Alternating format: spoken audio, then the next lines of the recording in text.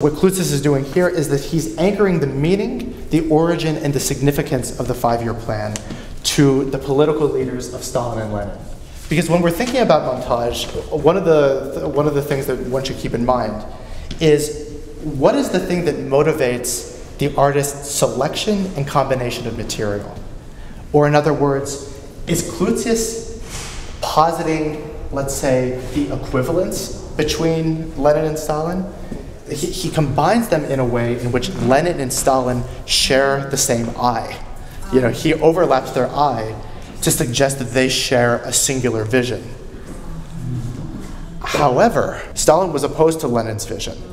And in terms of the clarity of the, of the representation, Lenin is represented in a uh, much more clearly, where Stalin is this sort of fu fuzzy figure that's sort of lurking in the background.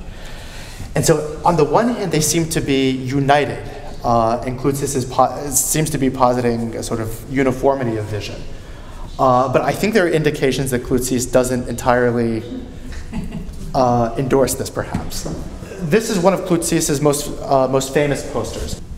Interestingly, uh, this hand is Klutsis's own hand. In fact, all of these hands uh, all of these hands are Klutsis' own hand. Exactly right. That it's a gesture of, of the power of the collective.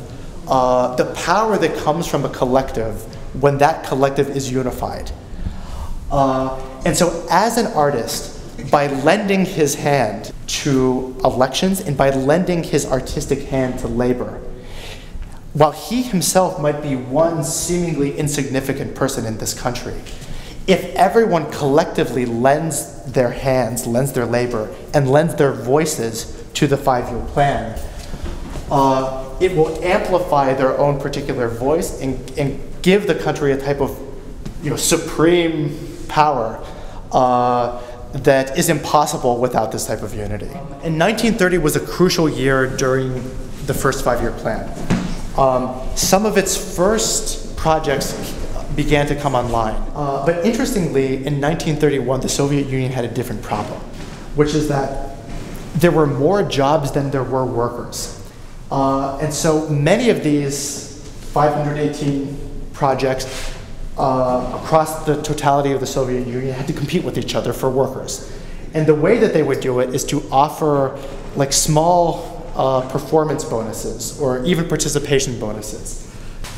Uh, and so this particular poster addresses that specific problem. This is a poster propagandizing and trying to promote not only the participation in the Industrial Revolution, but the, acquire, but the acquisition of technical skill.